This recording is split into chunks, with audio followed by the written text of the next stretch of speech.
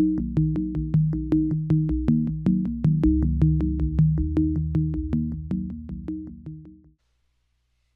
everyone and welcome to this tutorial. Today we will include the wear model in the simulation of a SAG mill. Let's get started. Create a new project and save it accordingly. Next, click on Study to write some details of the project.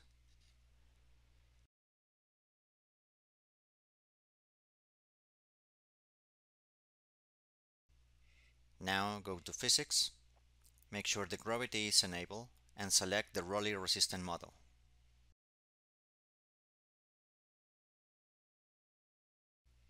Turn on the modules that will help to collect additional data. You must do it before solving the module. Next, set up each of the previously selected modules following the steps provided.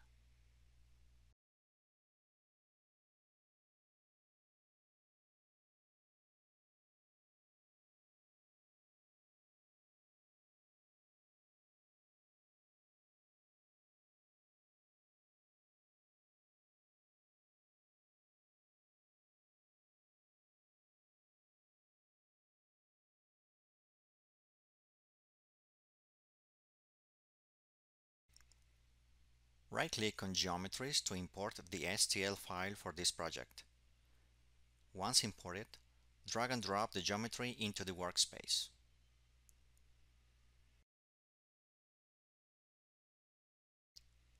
Use your mouse to rotate, pan and zoom. You can also change the background and text colors.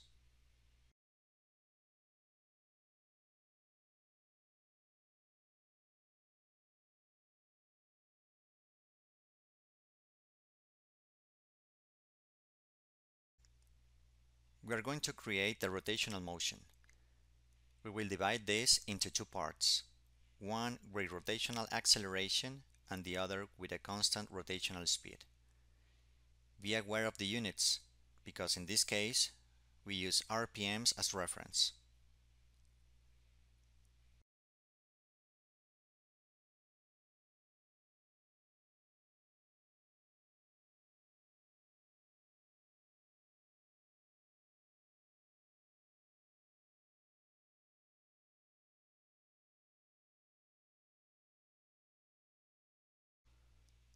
Now assign this rotational motion to the geometry and redefine the axis size.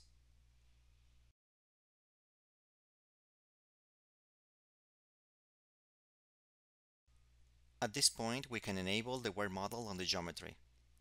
The Archard model is used in Rocky to describe the wear of materials due to sliding contact. Additionally, reduce the triangle size for the mesh. Let's see this in more detail. For wear modeling, it is recommended to include only the internal surface of the geometry, as 3D elements can become distorted, affecting the accuracy of the model. So we need to balance accuracy and processing time. In this model, a size of 0.5 meters is sufficient. In this step, we will duplicate the geometry to enable further comparisons. This second geometry will be used as a reference and it won't be part of the simulation, so disable the options as shown. For this model, create two materials, one for the rocks and another for the steel. Be aware of the density values.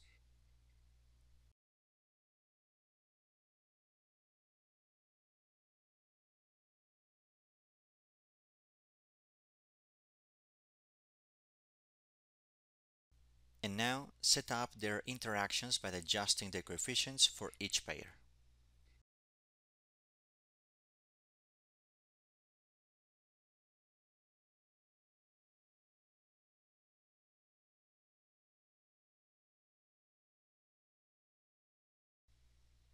Let's move on to creating the two particles, steel and rock.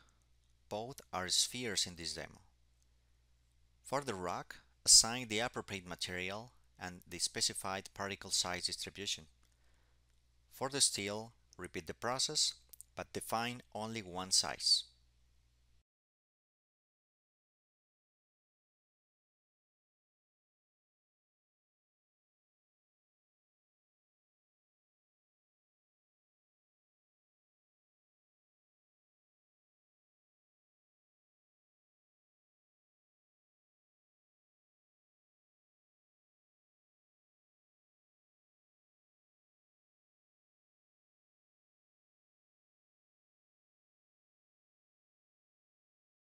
Here we create the inlet boundary condition, but in this case, a volumetric inlet is more appropriate. For that, define the particles included in that inlet, their total mass, and the location of the seed point.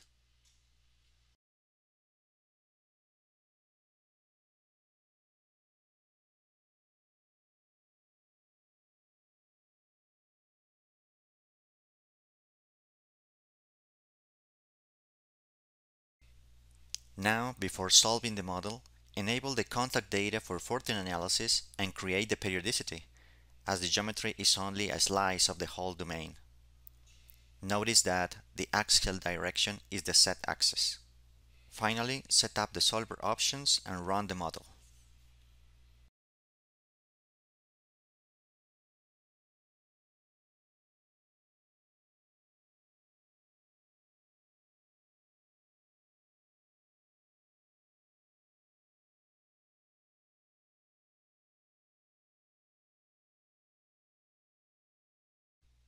Check the results as usual. Go to the bar and click on the play button to see the animation over time. Change the variable as you prefer in the particle coloring tab.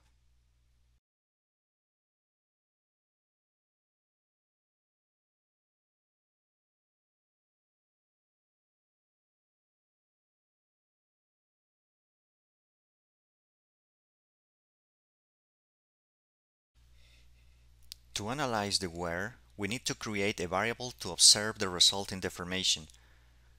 We will name this variable radial deformation, which represents deformation in the xy plane.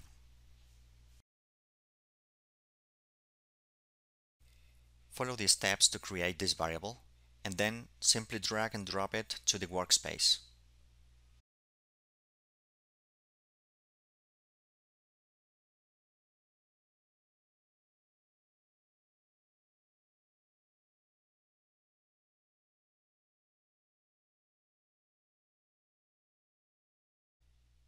This is one way to get the wear results on the surface. Let's create an animation to see the changes over time using the reference geometry we created before solving the model.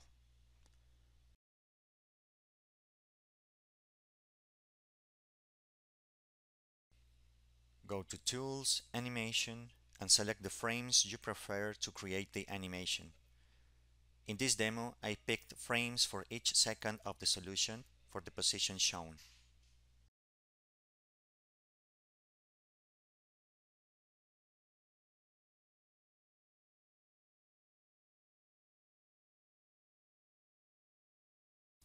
You can see the changes in the geometry as time progresses. But there is another option to get and analyze the worn geometry. Select the time you prefer in the Results tab and export the worn geometry as an STL file. You can open it in SpaceClaim or Discovery and compare it to the reference geometry. Use the tools available in the Facets tab, but to compare both geometries, go to the Measure tab and then click on Deviation. And that's all for today. Thanks for watching.